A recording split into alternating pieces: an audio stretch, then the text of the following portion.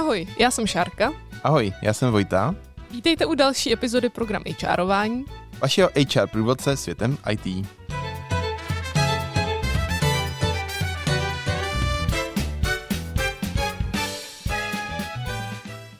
Dneska jsme si pozvali Michala Šrajera. Ahoj Michale. Ahoj. Řekni nám něco o sobě, prosím. Zkusím krátce svůj životní příběh. Já jsem studoval matfiz. Já jsem se totiž jako matfizák narodil, jak se na matfizu říká.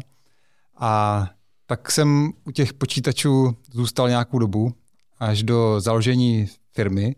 To už bylo ale v roce 2008, takže to už je dávná historie. Založili jsme IT firmu, první, která se věnovala vlastně chytrým telefonům tady u nás. Dělali jsme aplikace pro iPhony, pro Androidy a byli jsme v tom docela dobří. A taky ta firma byla zajímavá tím, že byla úplně demokratická a spolu jsme tam rozhodovali odmést po všechno ostatní, včetně třeba toho, jestli se necháme koupit Avastem nebo ne. A to je jako další velký bod mojeho příběhu je, že jsem se stal spolu s celou firmou součástí Avastu, tam jsem pracoval nějakou dobu. A potom jsem odjel na cestu kolem světa, asi roční, které jsem přijel s myšlenkou, že se začnu věnovat čím dál víc tématu štěstí v práci a tomu, jak to dělat, aby lidi mohli být lidma i v práci, takže jsme rozjeli konferenci a konzultačku a mezi tím hromadu dalších pokusů o startupy, různě úspěšné a neúspěšné. My jsme se tě právě pozvali, protože jestli mi chceme dostat, jak být šťastný, když koupí malou firmu větší, tak až se jenom zeptal, jak vlastně probíhala ta akvizice u vás, ten přerod, když teda dostali se tu nabídku a jak na to vlastně to vypadalo? Jak to celé probíhalo? No už to je dávno, už to je pár let zpátky, že to bylo v roce 2014 vlastně možná. Když tak počítám horko těžko. Ono to bylo tak, že my jsme nikdy nedělali firmu na prodej. Jak se říká, že buď se dělá firma na mléko nebo na maso, tak jsme vždycky to dělali tak, jako že to je náš lifetime business a, a už jako navždycky a pak to předáme vnoučatům třeba jednou tu, tu firmu nebo něco takového. Zároveň bylo to 6 let, co jsme makali a co byly různé ups and downs, že člověk má malou firmu, tak ty ups jsou docela vysoké a ty downs jsou docela nízké. A v tom jsme žili, nějak to fungovalo. Byly tam věci, které se nám zdálo, že by mohly být jinak, třeba to, že jsme dělali vždycky zakázkový software a nás vždycky lákalo dělat tu svoji vlastní aplikaci. A to jsme jako zkoušeli, pár věcí jsme měli, ale nikdy tak velkou, abychom se tomu mohli věnovat naplno. No a pak v jednu chvíli právě přišel Avast, myslím, že nás tehdy osloval Ondra Vlček, myslím tehdy COO nebo CTO, a e, z diskuzí, jako jestli náhodou bychom se nechtěli nechat koupit. My jsme si říkali, že to je překvapivá myšlenka, to nás nenapadlo, nikdy jsme o tom neuvažovali, ale zároveň nám přišlo zajímavé se o tom bavit. Ne proto, že bychom se chtěli prodat, ale spíš proto, abychom o sobě něco zjistili z pohledu zvenku, že jo? z pohledu od Ondry Savastu. Už předtím jsme měli nějaké diskuze s investorama, tady to bylo poprvé jako taková vážnější diskuze o nějaké akvizici, tak jsme si říkali, OK, pojďme si o tom pokecat, uvidíme, co z toho bude. No a za pár měsíců z toho byla akvizice. Ale samozřejmě ten příběh byl delší v tom, že třeba na rozdíl od typických podobných příběhů, kde firma se stane součástí jiné firmy, tak my jsme na to šli hodně tou naší cestou, kterou jsem naznačoval už v tom představení sebe. To je ta demokratická. To znamená, že jsme to opravdu dělali tak, že jsme se snažili celou tu diskuzi, která probíhala s Avastem, tak jsme se snažili přenášet k našim lidem v rámci týmu, takže jsme se ať všichni vidí do toho, co se děje, o čem se bavíme a co by to mohlo být a, a proč se o tom vůbec bavíme. Ale jakože vlastně každý u nás v týmu měl přehled o tom, co se vlastně chystalo, ono se vlastně nechystalo, to byly na začátku opravdu jenom diskuze pro zajímavost a postupně začalo něco vznikat. No a nakonec to skončilo tak, že opravdu jsme stejně jako všechny další velké rozhodnutí v, v rámci té naší firmy, jsme opravdu nechali rozhodnout všechny společně. Že jsme zkusili si dát dohromady pro a proti, zkusili jsme říct na to, jak to vidíme my, spoluzakladatelé v té firmě, ale pak jsme opravdu rozeslali Google formulář, kde bylo několik otázek, kde ta poslední byla, když byl na našem místě, tak šel bys do té akvizice nebo ne. A asi ze 75%, jestli si to dobře pamatuju, jsme si odhlasovali, že do toho půjdeme. A bylo tam hromada pro a hromada proti, o těch se určitě můžeme bavit, ale šli jsme do toho, no, tak takhle to začalo. A byli tam jako, když jste to měli rozdělený jako nějaký hierarchie jako vy asi vedení, pak teda nějaký další lidi a pak eh, pod tím ještě další lidi, protože přece jenom v té firmě nepřijdou všichni ve stejný den a může tam být, někdo bude klíčovější, někdo možná míň. Jak se tohle jako řeší? Jo, v té, té naší firmě jsme vždycky měli radost z toho, že nemáme hierarchii jako ve stromu, ale v kruzích. Vždycky jsme to kreslili jako, že to je v kruzích a že někdo je v tom, my jsme tomu říkali inner circle, jako je v tom vnitřním kruhu, někdo je v tom víc vnějším A měli jsme takovou tu představu, jako že to je nějaký fluidní systém, kde ty lidi oscilují a někdo v nějakém čase je trošku víc jako na okraji toho kruhu a pak jde blíž ke středu. A lidi se tak opravdu pohybovali. Jako je pravda, že celou dobu v, v tom středu, tak jsme byli tři, kteří jsme to spolu zakládali, ale postupně jsme do toho středu přitáhli další dva lidi, takže nás tam bylo pět v tom nejužším kruhu a lidi se různě blížili a, a vzdalovali. Snažili jsme se úplně bourat nějaký ten pojem nebo pocit toho, jako že někdo je ničí nadřízený, podřízený. Takže jsme se, ať jsme právě fakt jako všichni, byť jako třeba v rámci projektu tam byly nějaké zodpovědnosti a každý měl nějakou, ale vždycky jsme se snažili sami mít vnitřně ten pocit, že opravdu jako každý je to součástí stejně jako ostatní. A kolik vás třeba bylo, těch lidí? Třeba nás bylo takových 40, myslím, ve chvíli té akvizice. Takže tam už to nebylo tak, že každý s každým byl nejlepší kámo, že jo, už to jako... Ale zároveň je to množství lidí, kde pořád se každý zná a, docela dobře víš, co tam jsou ti ostatní a, a umíš si s každým promluvit, to jo. To jsme měli asi docela výhodu, že to ve 40 lidech jde. V 650 lidech, což bylo tehdy v Avastu, to už nejde, tam už prostě nemůže znát všechny, to už, ono se říká takové to, nevím, jestli znáte to Dunbarovo číslo, že, jo, že člověk je schopen si pamatovat zhruba 150 lidských vazeb asi tak, a dál už to je těžké. Takže opravdu jsou firmy, kterých jsem slyšel, četl a, a dokonce i u nás jsou, které když narostou na 150 lidí, tak se štěpí do nějakých menších skupin, kde je vždycky méně než 150 lidí, tak na to my jsme nenarazili naštěstí. A jaké byly ty pro a proti, co vyšly v tom dotazníku? Mm-hmm. Neřeknu, nedokážu už citovat, dokážu vzpomínat. A ono to jako principiálně to bylo o tom, že to pro bylo a to, co vlastně nakonec asi rozhodlo, byl ten pocit, že nám Avast vlastně nabízí přesně to, co jsem říkal na začátku, no, že pojďte s náma dělat tady globální produkty, kde opravdu ta propozice byla, jakože vy jste ti experti na mobilní svět, že jo, do kterého my chceme vkročit s vaší pomocí, takže vy pojďte vymyslet, co bude ten smysluplný produkt tady pod hlavičkou Avastu, který budete dělat. A zároveň jako my tady mimochodem máme jako 200 milionů uživatelů po celém světě, ke kterým to dostaneme, to, co vy vymyslíte, vyvinete a uděláte. A to se nám zdálo, že to je jako fast forward o 10-15 let, tam, kam bychom se někdy chtěli dostat, že my jsme dělali jako už eh, v té době ty největší vůbec mobilní aplikace tady v Česku nebo v Evropě, že dělali jsme aplikace pro Škodovku, dělali jsme všechny ty bankovní aplikace v prvních verzích, jako českou televizi, všechno, ale pořád to byly jako stovky tisíc uživatelů a najednou tam svítily stovky milionů uživatelů potenciální tak to bylo jako docela velké zásadní pro. A pak taky skok do toho, že najednou ze dne na den jsme byli součástí globálního týmu, kde jsme se naučili hromadu. Že jo? Já sám eh, vždycky to ilustruju na příběhu, který si vzpomínám, že v rámci InMightu jsme řešili, kde a kdy otevřeme pobočku v Brně, kterou jsme otevřeli, což jako byla velká expanze, že jo. A po pár měsících v Abastu jsem měl za úkol jako zjistit, ve které oblasti v Číně by se vyplatilo mít nějakou pobočku a jak tam jako nahajrujeme pár set lidí, tak to jako najednou byla úplně jiná hra než právě, no, jo a podobně ve všem ostatním. Jednou jináčí škály. No a na straně toho proti bylo samozřejmě ten otazník, jestli ta svoboda a demokracie a ty principy, které máme, si dokážeme přenést pod střížku Avastu daleko většího, který už tehdy fungoval 20 let možná, že jo? Teď, teď myslím, se slavila třicítka před tou akvizicí s Jenem. Takže to byl samozřejmě otazník, no. A jak to tak bývá, něco jsme získali a něco jsme přišli. Jak jste třeba řešili, protože předpokládám, že všichni nebyli jako hned stoprocentně rozhodnutí, že do toho chtějí jít, asi někdo byl proti, byly tam nějaký takový pocity, tak jak si třeba řešil nebo řešili jste tohleto, jaký tam byly diskuze? My jsme vlastně, nebyla to finta, ale spíš jako jsme to zjednodušili tím, že jsme to opravdu rozhodovali společně a opravdu všichni věděli, do čeho jdeme a o čem rozhodujeme. A, a my jsme se třeba zavázali k tomu, že součástí nějakých KPIček, řekněme, bylo to, že tam zůstane podstatná část toho týmu po nějakou dobu. A to vlastně bylo něco, co jsme splnili úplně snadno, protože jsme s každým opravdu si řekli, jako, že OK, tak jsme si řekli, že jo, tak, tak jo, a odkývali jsme si, jako, že do toho jdeme. Takže potom šli jsme do toho společně a potom společně jsme plnili ty KPIčka, které jsme měli, které se týkaly jako počtu uživatelů a všeho možná, ale taky počtu lidí, protože to byl vlastně takový ten acquihire, že, jo, že, že podstatou té akvizice nebylo to, že bychom měli produkt, jak jsem říkal, který by Avast kupoval, ale kupoval nás jako tým. Takže bylo podstatné, aby tam ty lidi opravdu zůstali. Ale to byla vlastně hračka díky tomu, že bez toho bychom tam nešli, kdybychom tam nechtěli jít. Takže to nebylo tak, jako že bychom za zády podepsali nějaký papír a pak všem řekli, tada. a teď říká, máte novou pracovní smlouvu a by aby odešla, tak to ne, no. Tak dobře, a když jste se teda shodli, tak jak jste se s těma lidma připravovali jako eh, teda ten skok z té malý do té velké firmy? Mm-hmm. Jak vypadala ta příprava?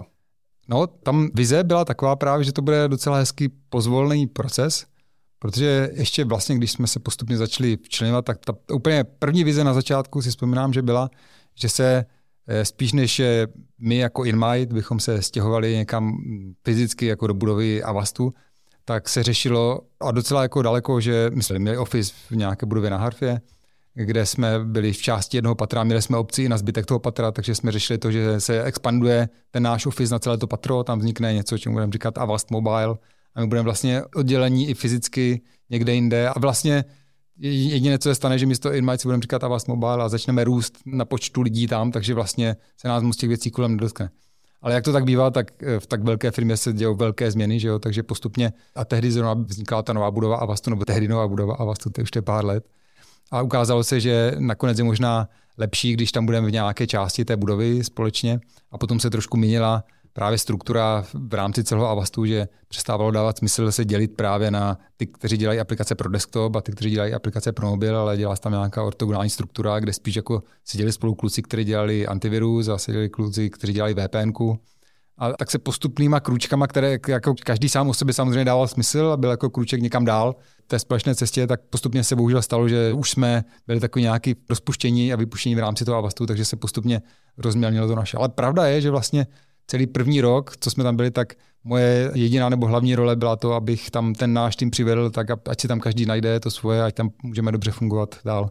A to je to, čemu jsem se vlastně ten rok, dá se říct, věnoval. No. Ty jsi říkal, že teda, když jste se stali součástí Avastu, museli jste držet nějakou velikost toho týmu, ale rozšiřoval se potom později ještě konkrétně ten váš tým. A jestli jo, tak účastnil se ty toho hiringu nějak aktivně? Jo, já myslím, že jo. Já jsem nikdy nebyl jakože ten, kdo by sourcoval nebo hledal ty lidi, ale snažil jsem se vždycky jako s každým si popovídat v rámci toho procesu, takže to mi určitě zůstalo. No já pořád vlastně ta, ta moje role i v Avastu, i předtím v té naší firmě, to, to jsem neřekl a jsem na to pišný, tak tak teď to musím doplnit.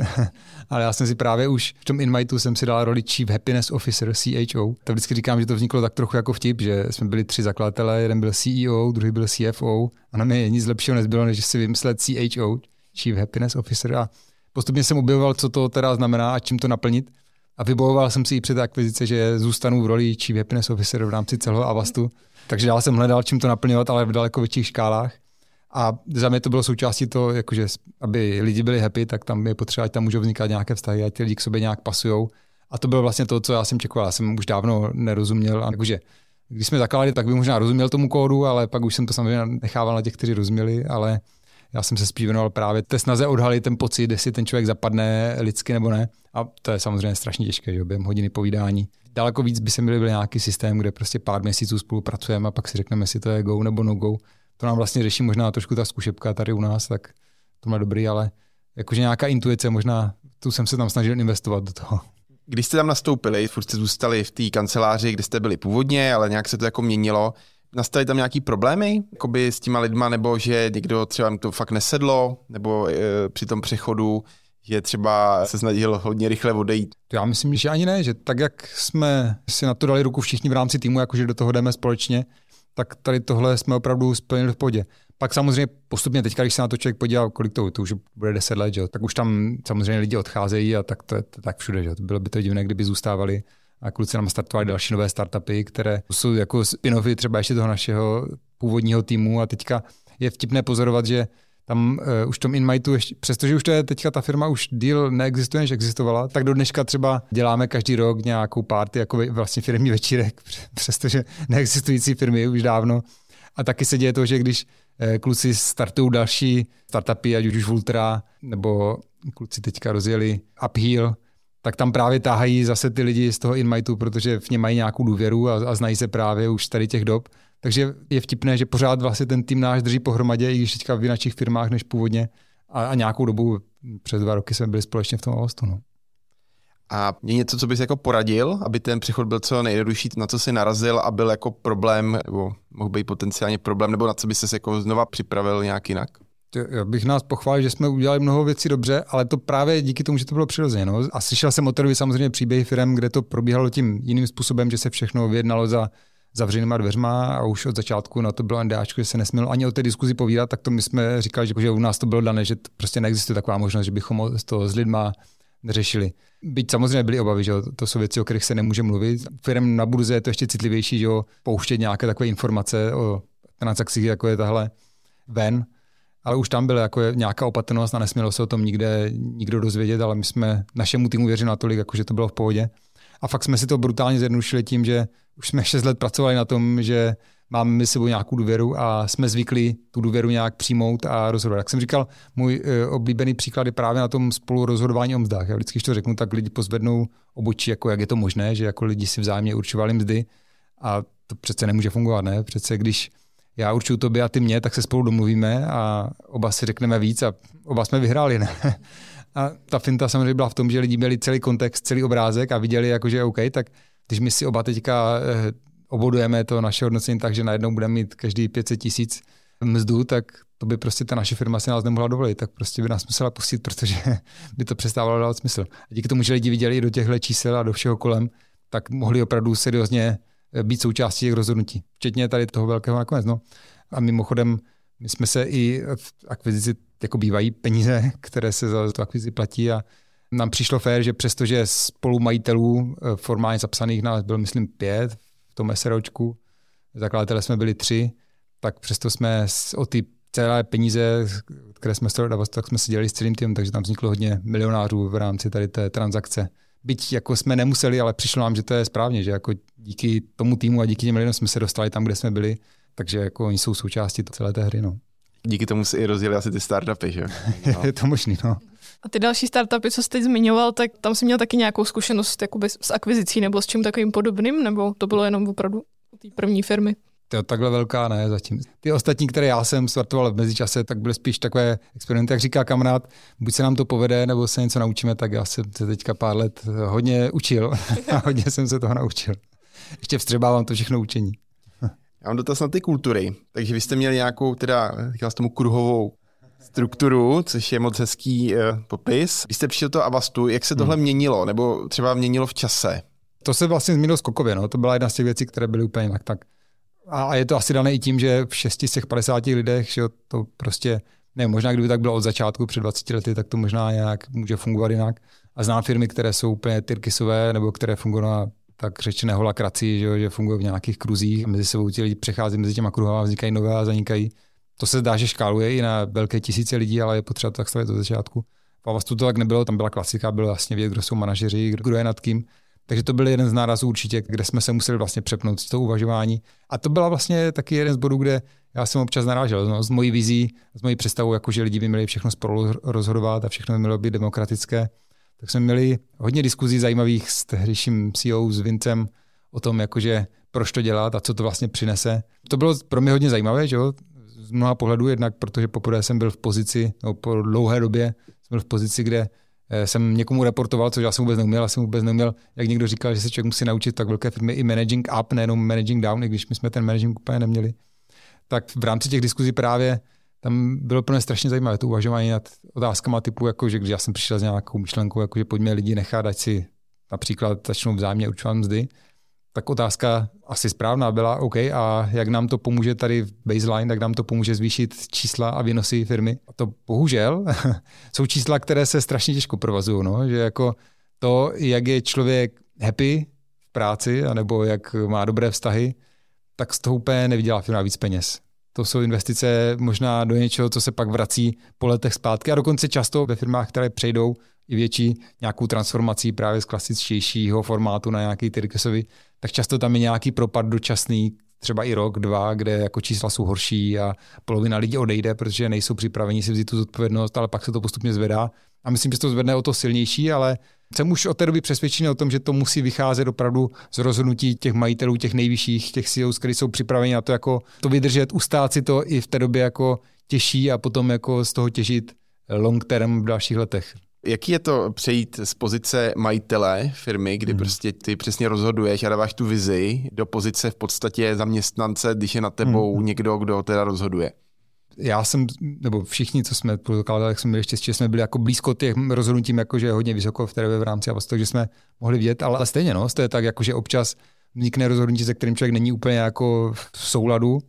A to jako vlastně asi bude nakonec jedna z věcí, proč nepracuju v Avostu do dneška, proč jsem znamenal dva roky, že se občas něco takového stalo a pro mě bylo strašně těžké, nebo neuměl jsem jako si říct, jako sice s tím nesouhlasím, ale teďka se za to budu být a budu to těm svým lidem prodávat, že jak to občas asi v korpoších bývá, s tím já jsem asi neuměl. A je to velká změna, je to hlavní možná, co jsem se nestihl naučit a co mi prostě nejde a proč do dneška nepracuju v žádné firmě, tak je přesně asi tohle, no, že když nevím, jestli jsem moc zaseknutý v některých svých představách, ale kdyby se zásadně tak se mi s tím bude těžko pracovat.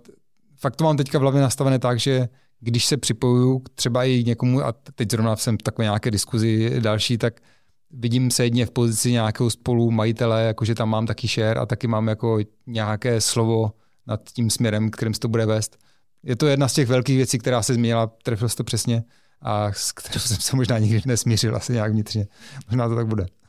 Ještě ty jsi měl dva roky, to jste se dohodli s Avastem, že tam budeš dva roky, nebo to bylo nějaký Jo, myslím, že tam bylo něco jako 18 měsíců, já jsem nakonec byl 24 měsíců a většina lidí ještě mnohem díl. Takže mě tak nějak po těch dvou letech přišlo, jako, že už je, jako je odpracované to hlavní, jako, že už tam jsme společně, už se něco udělalo. A taky zároveň se to oddriftovalo trošku jinam za ty dva roky, než kde já jsem doufal, že to bude tou dobou. Takže jsem si říkal, že můj čas je tady naplněn a je ideální doba na to jít k něčemu dalšímu, což jsem vůbec nevěděl, co bude. Já jsem neodcházel z Avastu tak, jako, že by mě někdo někam lanařil a že bych věděl, kam chci jít dál. Já jsem opravdu tam měl ten rok nebo 13 měsíců úplného prázdna, kde jsem si říkal schválně, co mi v hlavě vyroste za tu dobu. Ty už jsi zmínil, že jsi byl Chief Happiness Officer, zmínil si, jak se dá měřit nebo nedá měřit vlastně štěstí práci. Ty tvoje další kroky, které já to prozradím, vedly k tomu, že jsi mimo jiné založil i konferenci, která se jmenuje Happiness at Work. A poprosím tě teda jenom, abys nám představil, co to je, o čem to je. Mimochodem už byla takové hezké překlenutí z Avastu do toho budoucí. A už to bylo nějaké semínko asi, na kterém jsem potom budoval dál, protože ta konference už startovala vlastně eh, Letos chystáme devátý ročník, takže už to bylo v době, kdy jsem byl v Avastu. No, už tam vznikl první ročník. Jsme přemýšleli, potom, když jsme startovali Happiness at Work jako firmu, tak jsme vždycky přemýšleli, jak to udělat. Přišlo nám nějak vnitřně důležité pomáhat tomu, aby se lidi tady u nás byli dobře. A přišlo nám, že v principu vidíme tři cesty k tomu. Buď to můžeme koučovat nebo dělat terapeuty a pomáhat lidem individuálně, nebo můžeme naopak to vzít úplně z druhé strany a snažit se postavit ministerstvo štěstí, jako mají ve Spojených Arabských Emirátech a jít úplně jako z hora. A nebo, a to je cesta, kterou jsme si vybrali a která se nám zdá pořád jako ta správná, jít tak trochu jako z boku, z prostředka přes ty firmy. S pocitem, že když se nám podaří pozvednout firmu, ve které je pár set lidí, tak najednou to má pozitivní dopad na těch pár set lidí, což krásně škáluje, protože když těch firm je u nás pár desítek, stovek tisíc, ale každá má 10, 20, 100 tisíc lidí, tak najednou člověk má dosah všude. Že? Jsou samozřejmě firmy, kam my nikdy nedosáhneme, které, a možná se dostaneme nějakým příkladům, které nechci moc jmenovat, ale zároveň se mi zdá, že to je téma natolik důležité, že hm, nevím, zatím jsem si, a to už je vlastně dobrých 15 let, co se tomu tématu, jakože firmní kultury nebo štěstí v práci, jakkoliv se to pojmenuje, věnu, tak ještě jsem si nevyvrátil přes veškerou snahu to, že by to bylo opravdu důležité a to důležité nejenom pro ty lidi, ale nakonec důležité long term i pro ty biznisy samotné. A je super, že teďka vidíme za těch 9 let, třeba co tu konferenci děláme, tak že vidíme posun a že se to děje, že, jo, že čím dál víc firm už přijalo aspoň to, že lidi nejsou lidské zdroje a že prostě to není so jak citrony, které musíme co nejvíc vymačkat a vyhodit a pak najít nové, že naopak, jako když s nimi budeme nějak pracovat a jim možnost rozumět tomu smyslu, který mají a budovat nějaké vztahy, tak to potom bude dobře pro ně. Byť to nemusí znamenat, že budou pracovat na věky věku pro nás, že jo, tak taková je teďka prostě doba a myslím, že už vždycky bude. Takže konference vznikla už před devíti lety a tehdy to bylo mimochodem ještě tak, že eh, na ten první ročník jsme ukecávali tady všechny naše kamarády, ať tam přijdou, protože že už když se řeklo štěstí v práci nebo happiness at work, tak to znělo jako dobrý vtip, ale ne úplně něco, co by mělo existovat tak jsem se snažil přesvědčovat, že by možná mohlo a že to možná má nějaký obsah, který je jinačí než to, že nakoupíme lidem, nevím, ovoce a dáme jim nekonečnou dovolenou, ale je tam možná ještě něco hlubšího. A potom jsme ukecali všechny kamarády, ať přijdou na tu konferenci s IT firm, eh, protože IT firmy byly vždycky o kruček dál a byly vždycky možná připravenější na nějaké experimenty tak se to začalo postupně zvedat, měnit a dneska fakt máme radost, že po těch letech už zdaleka to nejsou IT firmy. Nám na začátku vždycky vlastně říkali, že no jo, tady to štěstí v práci, to je pro vás firmy v Praze, že jo, někde v kancelářích, to se vám tam jako dá řešit, ale co my tady, jako prostě, my tady máme chlapí ve výrobě, to s nimi nemůžeme, a ty, ty už je fakt úplně jinak, no teďka už bychom jmenovat řadu výrobních firm, kde tady ty principy fungují, i když tomu třeba říkají úplně jinak, ale to v hloubí, o čem my mluvíme i na té konferenci, i všude jinde, tak to tam právě mají a z toho mám velkou radost. No. A jak teda ta konference probíhá? Máte tam nějaké přednášky nebo workshopy, nebo hmm. co tam všechno vlastně je? Jak by se dalo konferenci čekat, je tam všechno a je to čím dál hustší věc. Po devíti letech už tam není jenom 50 našich kamarádů, už tam chodívá tak 500 lidí, věříme, že teďka jako se vrátíme a postupně začneme zvedat postcovidové roky, že covid jsme přežívali, že jsme byli ve virtuálním světě, to bylo samozřejmě těžší se nevidět na život s těma lidma. A to, v čem nebo jak ta konference vypadá, je pro nás tak nějak vnitřně důležité tam kloubit e, několik věcí. Snažíme se ukázat inspiraci, že opravdu tady ty principy, a ještě případně můžu popsat podrobněji, že opravdu se dají dělat v biznisu a opravdu jsou biznisově úspěšné firmy, které eh, mají zároveň spokojené lidi, kterým je tam dobře.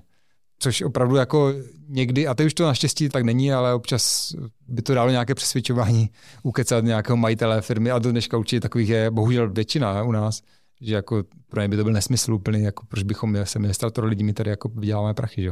Tak to je jedna stránka. Druhá věc je, že nám přijde důležité tam zkoušet přinášet nějaký eh, takový ten science-based pohled, takže se snažíme vždycky tam dotáhnout nějaké vědce z oboru, nějaké hm, psychologi, kteří vidí jako do hlouby lidské duše a kteří ví, jak to v lidech funguje a jak funguje motivace mezi lidma, nebo proč jsou důležité vůbec nějaké ty vztahy mezi něma.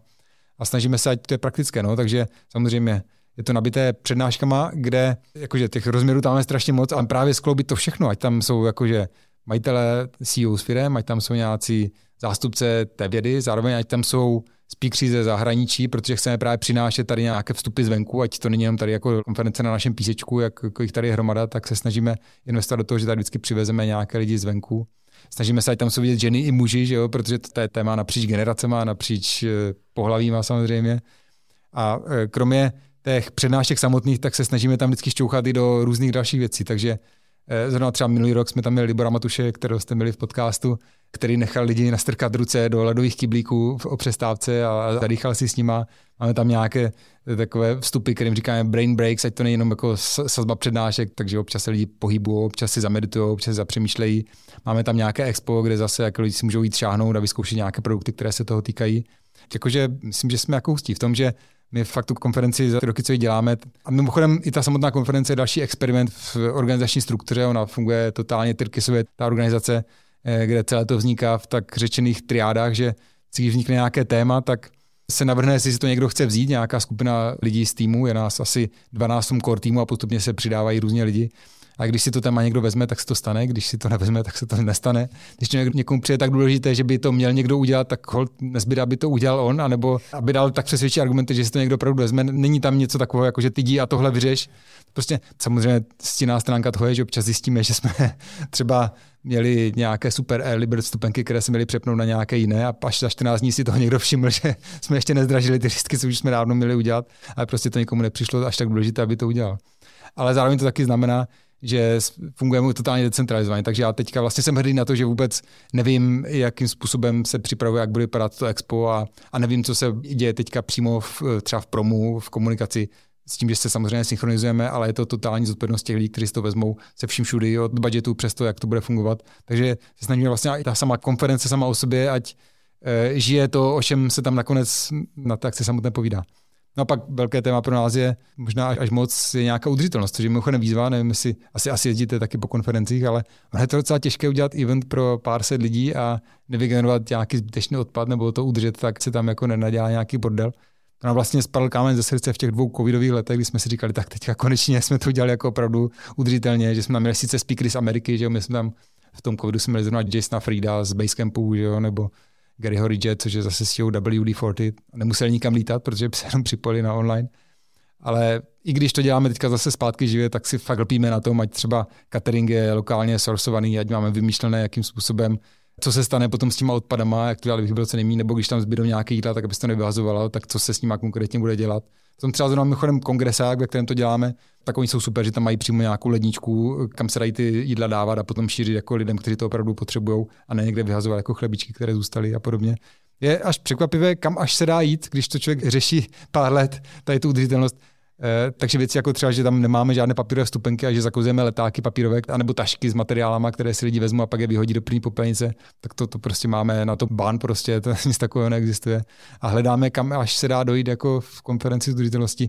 Pak nám trošku jako trhá srdce samozřejmě, když kupujeme letenku nebo pár letenek. Letos zatím máme speaker, no jednoho máme z Ameriky, no máme z Evropy, no, takže zase budeme kupovat pár letenek, tak budeme aspoň offsetovat to něčím jiným. Třeba loni jsme to nějak vnitřně si offsetovali tím, že místo, abychom kupovali řezané kitky s a speakerům, tak jsme jim nechali zasadit stromy, tak letos to ještě jsem posunul někam dál.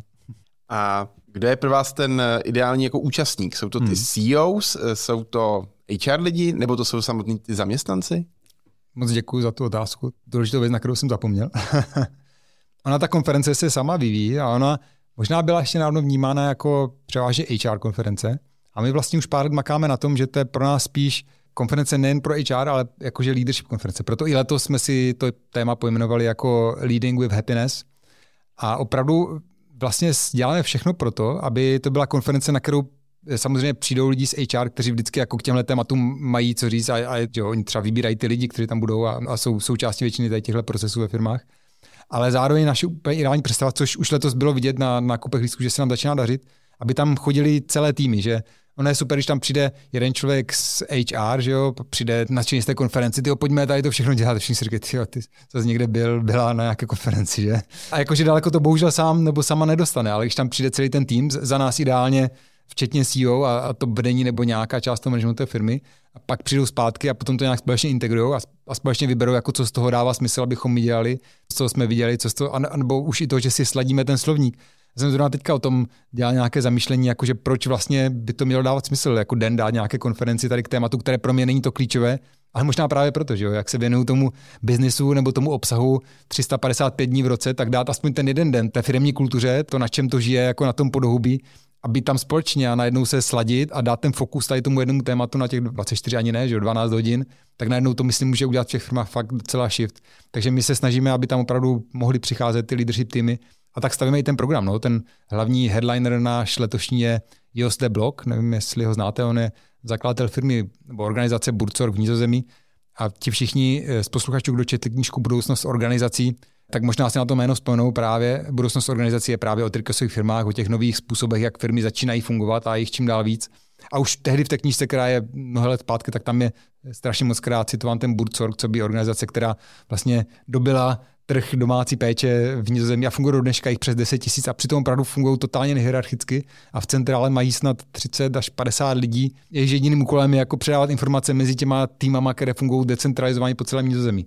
A může to fungovat biznesové úspěšně už desítky let, tak Jos o tomhle přesně bude povídat z pozice ho jako CEO, jako lídra, ale samozřejmě budou ho doplňovat i další. Budeme tam mít třeba eh, Honzu Vlachinského a Linku Vlachinskou, Honza je zakladatel eh, firmy Lidi z baru, to jsou ty legendární bary v Brně. Olinka jeho manželka, která si říká, že je psycholinka, která dělá eh, terapeutku a samozřejmě taky se účastnila v těch firmách, takže mi tak krásně jako spolu povídat o tom, jak to udělat firmu, která zase je z úplně jiného biznisu, že jo? a taky funguje úplně jinak. Takže to všechno bude 19. října, no, tyjo, bude to hustý. Můžeš nám dát nějaké tři typy za sebe, jak to teda udělat, aby byli lidi ve firmách šťastní? Já vždycky spíš než typy dávám ty principy a můžu to zkonkretizovat, pokud by se to hodilo. Ale my jsme si to svrkli právě proto, ať se o tom dá mluvit snadno, tak vždycky eh, tomu říkáme VVRZ v našich hlavách a ty čtyři písmenka pro nás znamenají, že ty čtyři věci, které, bohužel ne tři, které jsou důležité, tak jsou na jedné straně výsledky, čím chceme říct, že lidi prostě potřebují mít pocit, že dělají něco smysluplného, ale že to není jenom jako, že tady splním KPIčko v tabulce, ale že dělám něco, čemu rozumím, proč to dělám a co já dělám k tomu, abych tomu pomohl. To jsou ty výsledky. Pak tam jsou ty vztahy a to je to, že nějak se musíme cítit mezi sebou v týmu, že jo, jsou velké výzkumy Google, které ukazují, že psychologické bezpečí, tak řečené, kde můžu ukázat svoji zranitelnost třeba před kolegama v týmu, tak je jedna z největších korelací s tím, že potom ten tým bude efektivně spolupracovat mezi sebou a bude produkovat právě ty výsledky. Takže to jsou vztahy, výsledky vztahy. Potom tam dáváme jako do té čtveřice růst, to znamená tu, tu naši vnitřní lidskou potřebu růst a učit se nové věci. Že teďka je čím dál víc rostoucí téma, které už je jako desítky let staré, ale učit si se organizace, kde smyslem té organizace je to, aby mohla pomoct lidem se učit nové věci, tak to je přesně tady ten růst. No a nakonec eh, vždycky kreslím takovou tu maslovou pyramidu, kde v těch dolních vrstvách je ta potřeba nějaké bezpečí a nějaké fyzické zajištění, tak my tam to zetku máme jako zdraví že člověk potřebuje mít nějakým způsobem pevné to zdraví, ze kterého pak čerpá tu energii v těch denodenních aktivitách, které dělá a zároveň jako se strašně těžko přemýšlí o velké vizi a smyslu, když jako člověk řeší nějaký zdravotní problém, nebo prostě ani nemá energii na to, aby byl z postele a pustil se pořádně do té práce. No? Takže to je to BVRZ. A teďka, co se v tom všem dá dělat? Já strašně nerad říkám obecný typ, protože to pro každou firmu bude trošku jinak a každá firma bude trošku jinak daleko v těchto věcech. Ale za mě už to uvědomění si, jako že to není o jedné z těch věcí, ale že právě je to o tom hledání toho ekvilibria mezi těma všema čtyřma a že kdykoliv se na jedno z toho zapomene, tak to potom začne někam ujíždět, tak to je podle mě to hlavní, co by lidi mohli začít zkoušet. No. Tak Michale, my ti moc děkujeme za tvůj čas, bylo to hodně zajímavý. Určitě doufáme se povede konference a třeba zase někdy u nějakého jiného tématu naslyšenou. Super, díky moc. Děkujeme. Děkujeme za poslech. Sledujte nás na LinkedInu, Instagramu a Facebooku nebo pište na info zavináč program hrline.cz. Naslyšenou. Naslyšenou.